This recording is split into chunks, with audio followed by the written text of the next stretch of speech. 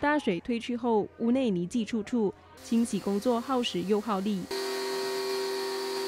六十一岁的莫娜是沙南太子园水灾受灾户之一，子女不在身边，丈夫意外受伤，身心疲累的她在面对家中残局，心中百感交集。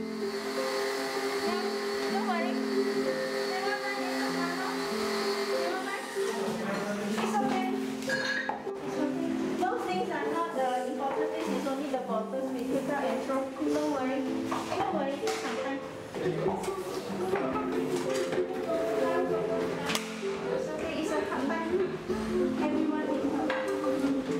you lost anything that very important, very precious to you? Uh, no, it's just yeah, my child, my children's childhood photos. That's all Is that why you break into tears? Because they are their memories when you are young.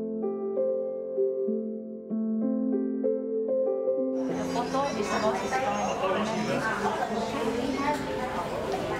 need to be strong.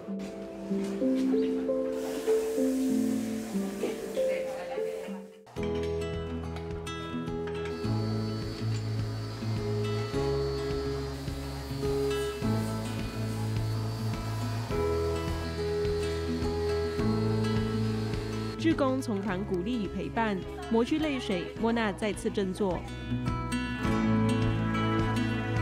除了协助清扫，仁义会志工也前来关怀，希望灾民安身也安心。